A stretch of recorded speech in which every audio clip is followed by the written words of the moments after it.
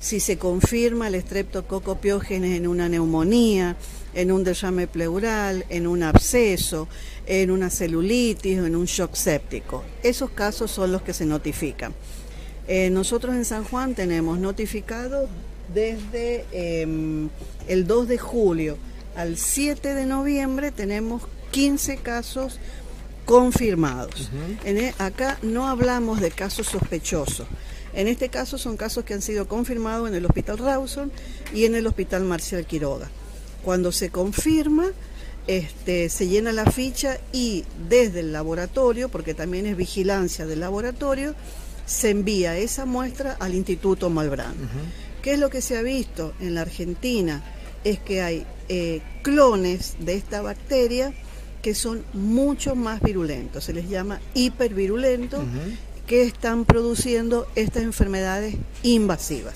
En la forma habitual de transmisión es cuando uno tose, estornuda, habla y se le escapa alguna gotita, esas son las formas comunes. Esta vigilancia es precisamente para eso, para determinar por qué tiene estos cambios, por qué hay estos clones este, de esta bacteria y precisamente eso es lo que está estudiando el Instituto Malbrán. De los cuatro fallecimientos tenemos que una de las personas hizo un, eh, un shock séptico en 48 horas sin ninguna manifestación previa, nada más que un decaimiento general, un mal estado general.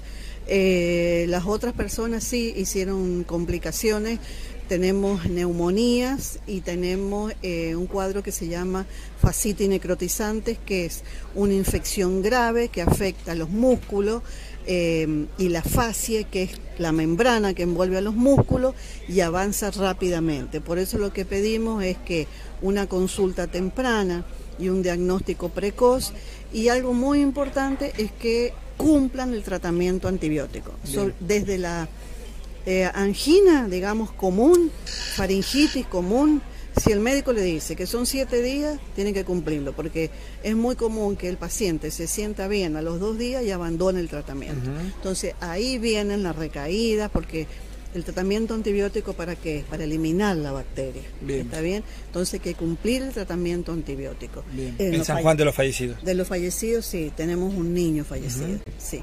Niño adultos joven y adultos mayores, los dos.